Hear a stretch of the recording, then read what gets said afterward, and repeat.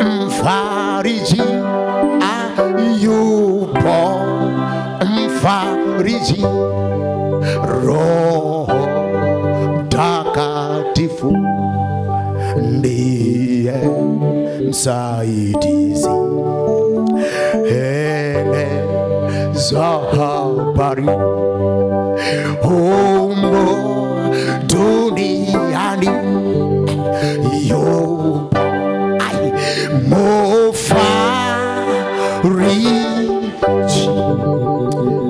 kipindi cha kuondokewa na rais wetu twende tuimbe yupo mfariji. Hey!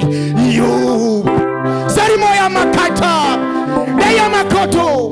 Roho mtakatifu. Sikata. Ndiye. Msaidizi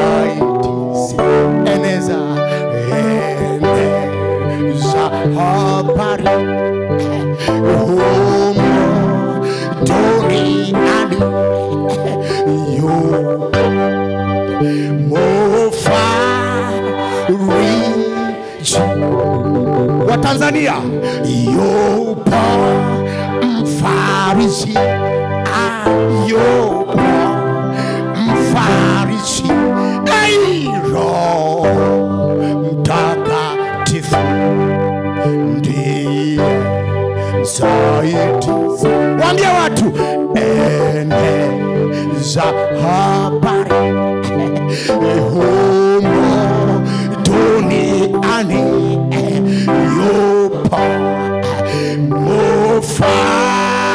mufariji Tuombe. Bwana Yesu, asante kwa ajili ya wema wako na nguvu zako. Nasimama tena siku ya pili kusema maneno yako, unitumie kama chombo chako kwa jina la Yesu, amen. Lakini pia niwashukuru wazee wa kanisa, viongozi wote wa idara na kanisa lote kwa ujumla. Mungu awabariki sana, amen. Naanza kufundisha kama ifuatavyo. Sina kichwa kama jana, yoyote atakayoendelea ndo hayo hayo. Amen. Kuna makundi manne alikuwa nayo Yesu. Kundi la kwanza alikuwa anashughulika na watu walikuwa wanaitwa makutano. Kundi la pili alishughulika na watu waliokuwa wanaitwa wanafunzi. Kundi la tatu alishughulika na watu waliokuwa wanaitwa mitume. Kundi la nne alishughulika na Petro, Yohana na Yakobo. Mahusiano ya Yesu na makutano yalikuwa ni tofauti na makutano ya Yesu na wanafunzi.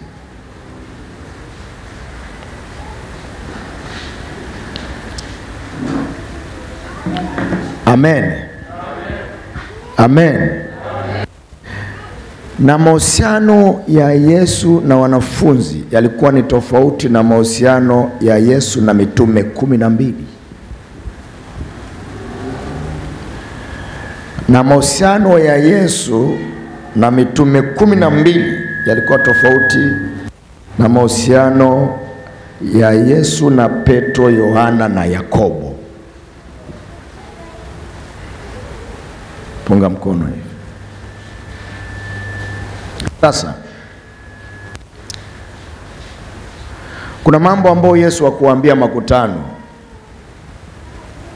kama pale ambapo amehubiri siku nyingi, makutano anaona njaa, haku- hakuongea na makutano, aliwaita wale mitume kuongea nao kwamba watu wamekaa siku nyingi na wana chakula, tufanyeje? Hakuongea na wale alipoenda kuwatuma watu wawili wawili kwenda kuhubiri, aliwatuma wale wanafunzi wakati fulani, wale sabini akawapanga wawili wawili.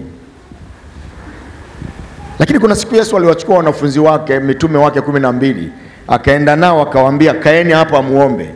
Alafu akamchukua Petro, Yohana na Yakobo akaenda nao mbele, alafu akaanza kuwaambia, moyo wangu unaugua kiasi cha kufa.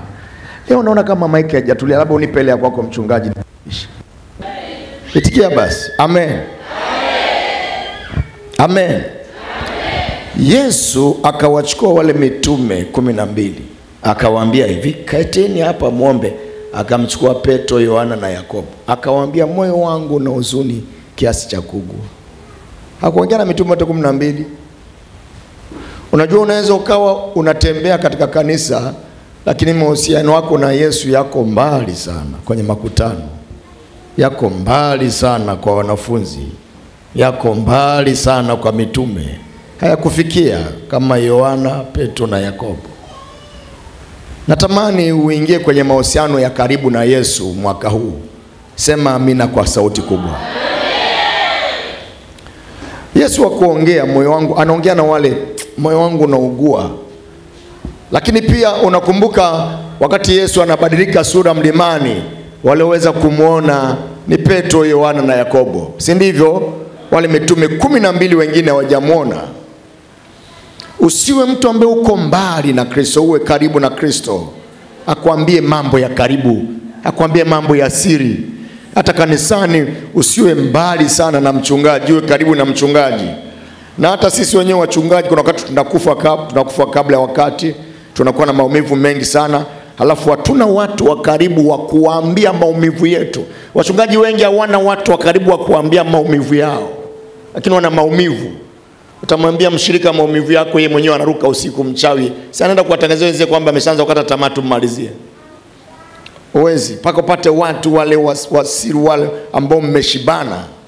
Natamani ushibane na Yesu kipindi hichi, uambiwe hata maandalizi ya kwamba Yesu amekaribia, uanze kuyaona na hayo maono, aanze kukusemesha usiku, aanze kukuambia toa hichi, we ni mtoto wangu lango alijafungwa muda sio mrefu. Amen. Hiyo nimeacha kipengele cha kwanza. Kuna makundi ya dhambi. Nataka leo niongea habari za Roho Mtakatifu na atashuka hapa kwa, ba, kwa, kwa nguvu nyingi, lakini ngoja niongele, kuna makundi ya dhambi ambayo natamani uyaache. Oho, okay, ngoja nianze hapo. Siku moja Roho Mtakatifu usiku alikuwa ananifundisha akaniambia hivi hivi, unajua hukumu haina, haina utani, na utatoa hesabu na uwaambie watu watatoa hesabu mpaka vitu ambavyo hawajawahi kujua kama vitatoa hesabu siku ya hukumu. Alivyonifundisha ule usiku, nilisema mbinguni kuingia ni kazi. Akaniambia ni kweli, ni kazi, lakini kwa Mungu inawezekana. Sikiliza nikwambie,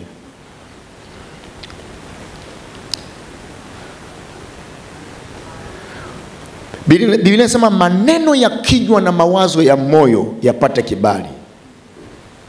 Kwa mawazo peke yake, peke yake mawazo, watu wengi watazuiwa lango la mbinguni. Mawazo haya peke yake. Unawaza nini? Unawaza ngono, unawaza kutukana, unawaza mabaya, unawaza magomvi, peke yake haya. Wazo lolote ni, ni tendo lililokosa sauti au vitendo, ila viko, kwa sababu huwezi kufanya kitu chochote mpaka utangulie kwanza kukifanya humu, ndio ukifanye kwa dhahiri. Kwa akaniambia uliambie kanisa kwa habari ya kwamba waondoe vitu vibaya na mawazo machafu vichwani mwao. Ndio maana Yesu anasema hivi, aa, imeandikwa kwa habari ya mtu asizini. Mi nasema hivi hata anayemwangalia mwanamke kwa kutamani ameingia kwenye hatia. Akanambia hapa peke yake kuna kazi. Akanambia macho peke yake yana uwezo wa kufanya mtu akaingia mbinguni au akashindwa. Unatazama nini? Kwa sababu kitu unachokitazama ndio kitakuja huku na kitakuja moyoni na baadaye utakitenda. Ni kosa mtu kijana, baba, mwanaume, ni kosa kumwangalia mwanamke mtupu. Unafungua simu yako unaangalia mwanamke au unaangalia mwanaume mtupu, hana nguo, unaangalia uchi, ni kosa. Utaruhusiwa kama umeoa kumwangalia yule uliyemwoa au umeolewa naye, unapofungua simu yako kuwaangalia ni kosa. macho yako yanatazama nini ni vipindi gani unavyoviangalia katika televisheni yako kumbuka anasema hivi lango liko wazi muda sio mrefu linafungwa yesu amekaribia kuja kanisa limejisahau sana. Kufumba na kufumbua. Kuna watu wachache watamwona yesu. Natamani na wewe miongoni mwa watu watakaomwona yesu. Macho yako unatazama vipindi gani? Unafuatilia nini? Tuna kanisa la watu ambao tunatembea nao lakini wamejaa picha za ngono kwenye fahamu zao. Kanisa la sasa sababu ya dunia ambapo biblia inasema dhambi itafunika dunia lakini nuru itakuangazia giza litafunika dunia lakini nuru itakuangazia wewe. Uwezi ukaenda kwenye ma YouTube, kwenye mamitandao kwenye maintaneti wamesha kuwekea vitu vibaya kabla hujapata kitu chako unachokitaka. Unatana na vitu vichafu. Alafu inabaki katika memory ya kichwa chako. Unatembea ukiwa na picha za utupu wa wanawake macho yako yanatazama nini? Ulimi huu. Utatoa hesabu. Kila neno unaolisema Biblia inasema lisilokuwa na maana utalitoa hesabu. Mambo mangapi unayoyaongea yasiokuwa na maana yaliyojaa uovyo na midhaa na utani utayatolea hesabu au my friend. Hivi una habari mikono itahukumiwa? Biblia inasema mikono iliyomwaga damu isiokuwa na anasema mpaka mikono itatoa hesabu mikono iliyomwaga damu. Hawa watoa mimba hawa wanaongozana na watoa mimba hawa yote mikono itashtaki siku ile. Tuliua. Miguu itahukumiwa. Bila sema miguu iliyo mepesi kukimbilia maovu. Itatoa hesabu hii. Masikio vingapi umevisikia na una uhakika navyo na ukavisambaza na mpaka saa nyingine hata kanisa linachafuka kwa ajili ya taarifa zisizo za kweli na za uongo uongo. Yote haya yatatoa taarifa. Ha, sikiliza nikwambie ngoja nikupe maandiko ambayo yanakuzuia mbinguni halafu unayasahau una, una, una biblia inasema hivi. Wasikiliza kwambie biblia inasema hivi. Akaniambia hivi una habari kwa kule tu kuwabariki watu. Kwa sababu katika mambo ambayo limeibiwa kanisa alikuwa nafundisha jana nikasema kanisa limeibiwa hamu ya kwenda mbinguni. Kanisa limeibiwa maombi. Kanisa limeibiwa utakatifu. Kanisa limeibiwa utoaji. Aliniambia hivi hivi una habari kwa kule tu kuishi duniani hapa kuto kuwakumbuka wahitaji mayatima? Kuna watu wengi mbinguni watakosa. Maana biblia hivi atawaambia karibuni kwangu nipokuwa niko uchi mlinivika nipokuwa na kiu mlininywesha. Afu atawaambia wengine ondokeni kwangu siwajui. Na ndio maana mimi kila mara naitisha sadaka ya yatima kanisani na wahitaji na na mfuko maalum kwa ajili ya wahitaji. Kwa sababu ni neno. Utakataliwa kwa kule kula peke yako ulivyopewa. Mtu yoyote aliyebarikiwa hajabarikiwa ili ale peke yake. Anabarikiwa ili na wengine wabarikiwe kwa kupitia yeye tuna wachoyo wangapi kanisani? Si kwamba tu, si kwamba tunashindwa kufanya mambo makubwa. Tunaweza kufanya mambo makubwa lakini tunaweza kufanya mambo makubwa bila sadaka. Kazi ya mungu inaendelezwa na sadaka. Na nchi inaendelezwa kwa kodi za wananchi. Watu wanapoacha kumtumikia mungu kwa mali zao wameipunguzia nguvu kazi ya mungu. Na kama wameipunguzia nguvu kazi ya mungu inafungua milango ya mapigo kwenye maisha yao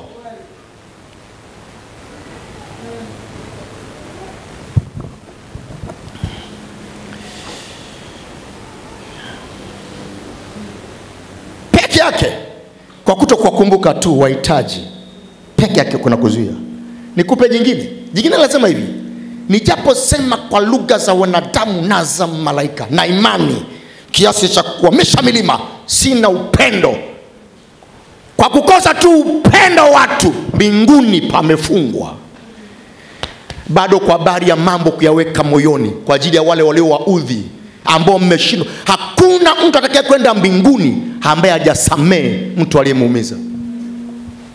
Wangapi wenye uchungu mioyoni mwa my friend, dhiki kuu litapita kundi la watu lisilo na idadi.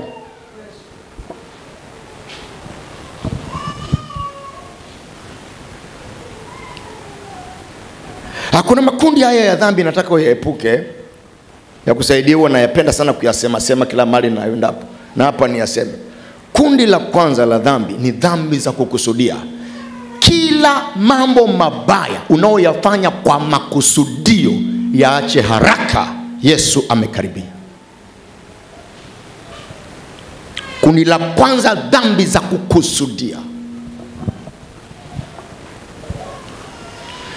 Kundi la pili, dhambi za kutokukusudia kukusudia, na zenyewe zinatokeaga za kuto kusudia. Mwambie Mungu unisaidie na unihurumie, uniseme hata yale mambo mabaya niliyoyafanya bila kukusudia, Mungu akuhurumie. Kundi la tatu, madhambi haya, makundi haya yanatesa kanisa, Mungu akuepushe nalo. Dhambi za kushirikishwa. Binti wa mahali hapa anayesali hapa akimkuta binti wa hapa Prezitimu kichochoroni huko, yuko na mwanaume wamekumbatiana, wananyonyana ulimi, binti wa hapa akamkuta na akamwacha asitoe taarifa, na akaendelea kuimba hapa, anamwona na yeye amenyonywa ulimi, hata kama kunyonywa. Hizo zinaitwa dhambi za kushirikishwa. Ah, Huwa anasema kanisani, adui wa mtu we akuhusu, wala usitamkishwe chuki. Yani mama mwenyekiti na makamu wake hawaongei, alafu anamchukua mshirika mwingine anamwambia, unafahamu mwenyekiti ameniuzi sana, na we unaanza kuumia. Achana na hayo mambo, ugomvi wao ni wao, we sema na yule ambaye asemi naye. Watu wengi wanaambukizwa vitu vibaya makanisani, wanaishi navyo. Yesu yuko mlangoni.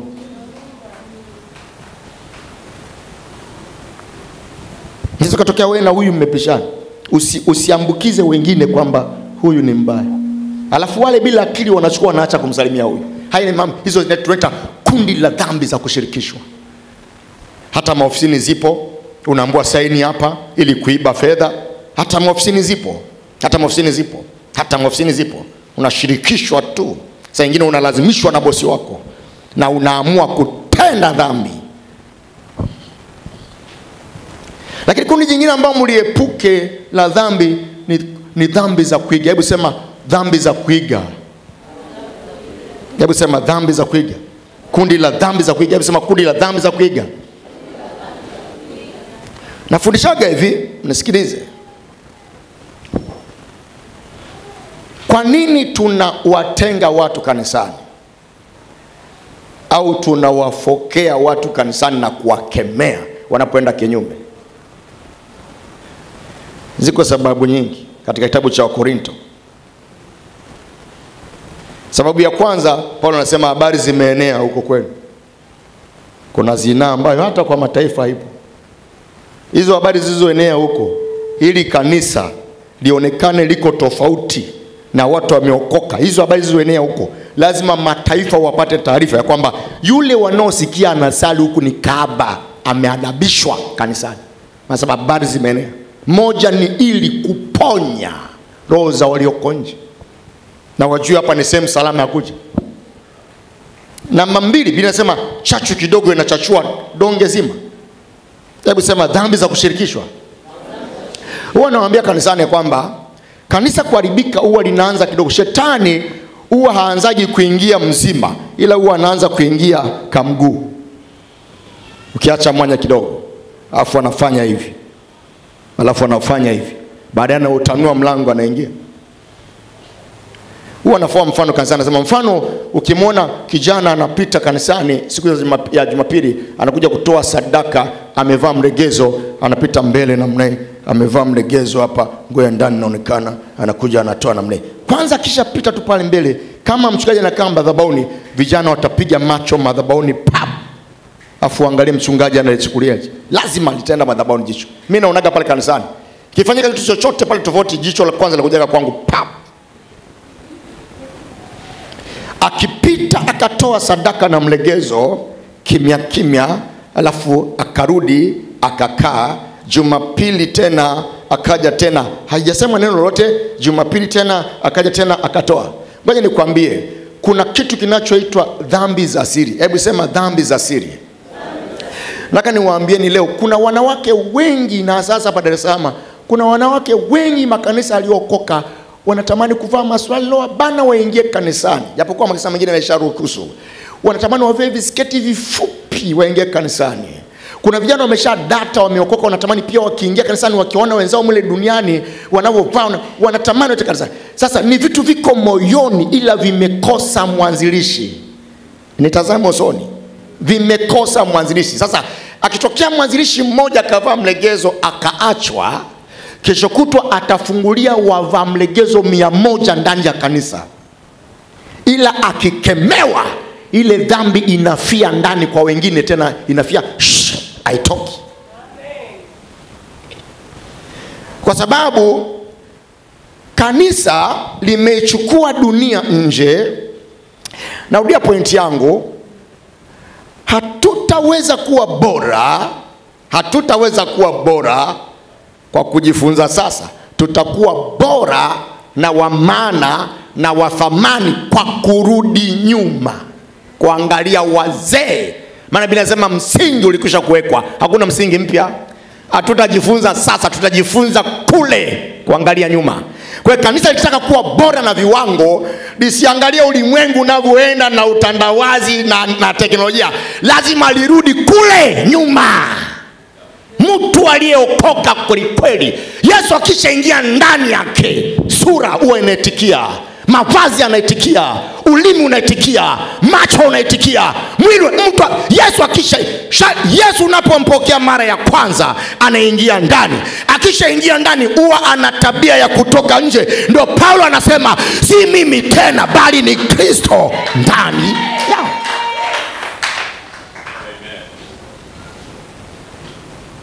maana jamani mpaka tembea yao.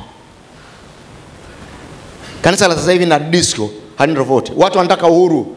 Na watu wanataka uhuru. Wanataka uhuru na injili hizi za kupokea mali. Mali hautapokea bili inasema kama mtatii na kukubali mtakula mema ya nchi. Mali hautapokea kwa kutamkiwa. Utapokewa kwa kutembea kwenye kanuni za mungu. Sio kutamkiwa. Upako si rahisi. Upako una gharama. Sasa kanisa linataka liwe huru. Nataka liwe huru. Waishi kama wanavyotaka wafanye kama wanavyotaka alafu ukiwaambia wanasema bwana anaangalia moyo. Ni kipindi cha neema. Mimi nataka nimwambie mungu alimwambia farisayo farisayo mnafiki wewe. Safisha ndani yako kwanza na nje iwe safi. Mtu akishasafishika ndani na nje lazima awe safi. Hatutokuwa na kanisa la watu waliokosa nidhamu na maadili. Watu ambao wako ovyo ni kama nyumba za disco. Ni kwa sababu ya namba namba hii tatu dhambi za kuiga. Kila fasheni kila mtindo kila nini li dunia limetoka huko limekaa kanisani. Yani mashetani yanazidi kuongezeka duniani.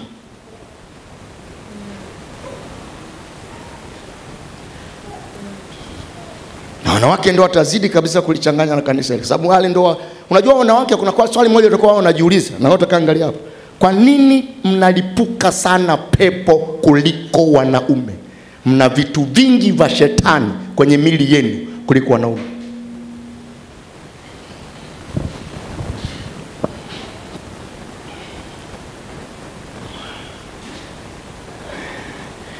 mimi sasa hivi mojawapo nawaambia wanawake wajikubali. Wanawake wa tanzania wajikubali walizike wajikubali ajikubali weusi wake. Mungu wakati anamuumba black alikuwa na, na mimi nawaambia ashukuriwe mungu. Utawala wa kimungu ni wa dikteta ashukuriwe sana. Kwa sababu kama mungu angekuwa anatawala tunajadiliana. Mpaka leo dunia ingekuwa inaumbwa lakini unajikuta tu jeusi ni mnyiramba lipua likubwa kama la kwangu. Hakuna mjadala hakuna sema nitamani niwe marekani marekani utafanya nini? Baki hapa hapa. Yaani unatokeza tu mkafupi hivi. Hakuna mjadala hakuna mjadala masikio yamekaa hivi. Ya, hamna mjadala hamna mjadala. Hashukuriwe yule yehova yule yehova aliye na mamlaka ya kumfanya mtu atakavyo si yeye atakavyo halafu alivyomumba akarizika akasema kazi yangu ni njema lakini wanamkosoa kosoa wewe ndo wakunipa mimi makucha haya mungu? Ndo wakunipa kucha hizi? Wanataka wanavaa yako hivi.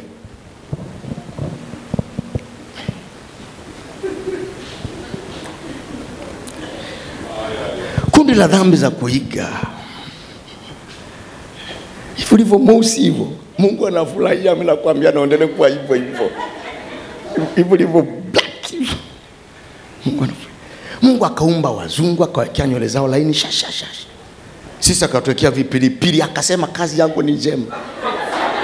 Kazi- akasema kazi yangu ni njema. Sisi tunasema wewe ndo akutumba hivi. Mtu anatafuta wigi kubwa mpaka akigeuka hivi lenyewe bado limeangalia huko. Yote nikataka kukosoana na mungu tu yaani dunia imekuwa tabu. Watu hawashughuliki kutafuta. Paulo aka na maana kitabu vitabu vile vinasema kama, "Ah, jamani wanawake kujipamba kwenu jamani sasa. Okay, sasa, huyu ni mtu wa kishamba. Na mimi kwani ni wa kishamba na kadi miaka inavyozidi kwenda ndivyo nazidi kuwa wa kishamba sana. Alafu sahizi mjini nimepachukia kuhubiri na waza ni wakumbuke watu wa vijijini. Wale wenye kufunga kanga huku wenye kutoka kujilimia wanatembea vyovyote. Nataka hao niwaparamie niwaambie yesu wangu anawapenda. Mjini wajuaji ni wengi wenye kupenda kuhubiri kwenye lami.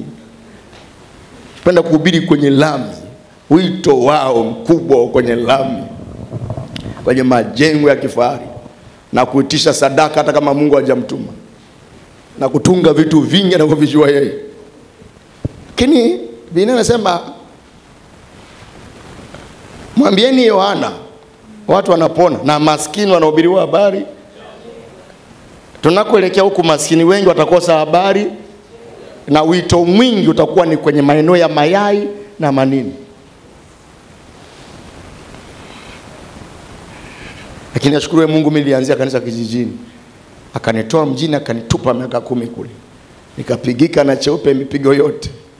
Nilivyoshika adabu akaniambia yarudi mjini kwenye chips lakini nimeanzia huko pigika kweli kweli yani pigia nimepigika na yule mwanamke ah, nimepigika Na nilikuwa nalala njaa mpaka tunakoma katoto kadogo hivi kanikuwa kanaitwa Noah, saizi ndo wa kwanza yuko chuo hapa hivi. Yule mtoto ameteseka sana. Siku moja niamka saa nane usiku anasema baba, njaa. Nane usiku kako hivyo. Nikaenda kabatini kachua chai aina sukari, nikamwambia kunywa, kakanywa. Sema tamu. Sasa tamu, majaribu. Ukaenda kulala. enda kulala. Mungu ali- aliniweka kule ili nitakapokuja mjini niseme neno lake. Na katika maisha yangu toka nilipoimba ule wimbo nimechoka kuombaomba pesa za malalamiko, pesa za ma... toka niliponyamaza nikamwangalia. Ndo- Na ndio maana kanisani kwangu sitamani kabisa, nataka kila mtu ajue yuko sawa mbele za Mungu. Sina muda kabisa na kuwatofautisha watu, na matajiri wa pale wanajua mi siko kwa ajili ya kuabudu fedha za mtu, mi niko kwa ajili ya kuhubiri neno, sababu ukiabudu fedha kuna siku itakukontrol na ukishamwambia tu kwamba wewe ndio tunakutegemea, ni wa maana hapa kanisani, Mungu amekuinua, tunahitaji kiwanda kinanda hichi utupe. Ukisha wazoea zoea, kesho kutwa wanakuchagulia paka mhubiri semina. Ndio kwenye maisha ya Kristo lazima kwanza Kristo anapomwita mtu amkanyage, amkanyage, amnidhamishe, amfundishe uvumilivu, kumtegemea, kumwishia, afu anamtoa. Hii yote ili asijikwae akaja akaipotosha Injili.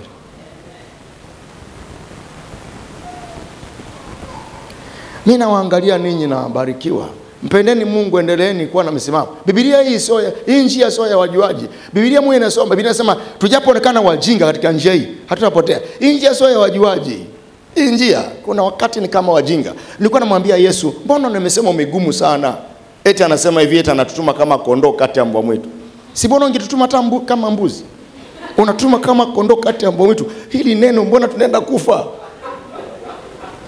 Hii njia ni ngumu sana, ni nyembamba, imesongwa, waionayo ni wengi, lakini wanaoipita ni wachache. Ya kujikana, beba msalaba, na huku tunakuelekea kanisa linaenda kubanwa, dunia inaenda kubanwa. Nimeanza kuyasema ya mambo toka mwaka juzi ya kwamba kanisa liombe limtafute Mungu, liwe na nguvu za kutosha, kwa sababu tunakoelekea ni mwishoni.